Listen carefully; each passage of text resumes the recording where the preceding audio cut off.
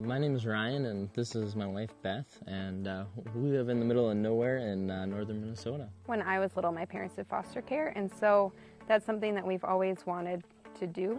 And we knew um, foster care and adoption was a direction we wanted to head. So that's how we got started. We've had three kids.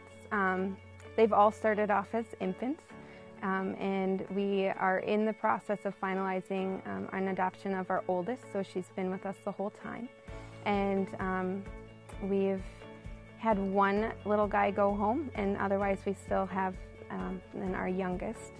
Um, our kids, the dynamic for us with foster care is all of them have had special needs of some sort. So um, a lot of um, our time with them has been kind of trying to figure out what services they need, what medical professionals, and getting those things set up, and then just them joining in with our family.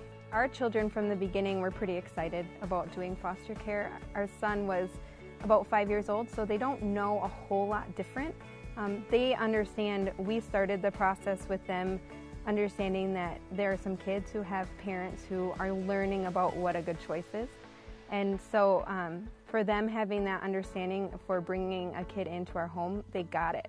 Yeah, and our daughter's done a really good job just phrasing it for us when we first started. She's like, well, right now they're family, and then at some point they're going to go home and then we'll be friends. You can overcommit to a lot of things, and so learning to say no sometimes, um, even to social workers, and, um, and most of the time they'll help you figure out a way to do it. Um, and so that has been a challenge because I'm a people pleaser, so I typically say yes and it, so it's taken a while over the last three years of kind of learning where those boundaries can be. It's difficult sometimes sending them back into the situation. For us, the, the big piece is just knowing that God, God is always there, even if I can't be, that He's still got it under control, and just trusting that. So it's been a huge faith thing, too. One of the biggest challenges being from a small community is just that you have to drive oftentimes because whatever you're going to isn't close.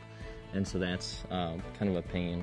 Um, there's some nice parts to it too because you don't um, you don't have to worry about running into people as much because typically you're not in the same community. And I think you get a support network in the smaller towns sometimes easier. Um, people might not know the specifics of the cases that we're working with, um, but they understand the dynamics of time commitments and stuff, and so they're willing to jump in and help out. When we initially met, um, getting started in foster care, um, you kind of get to say like ages and abilities and what you feel like you're best at and what you feel like is kind of out of your league.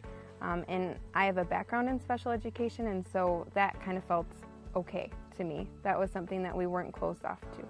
There are times where it's really difficult, but overall, the good outweighs the frustrating parts or the bad days. And even with your own kids, you have those bad days. There's one time where we had uh, our foster daughters. Uh, half sister over, and she came over and, and wrote in chalk uh, her name and then uh, all of our names, and then just put equals family. And I mean, it's just so neat to you know see how all of a sudden you end up with this extra daughter that you didn't even realize you were going to get.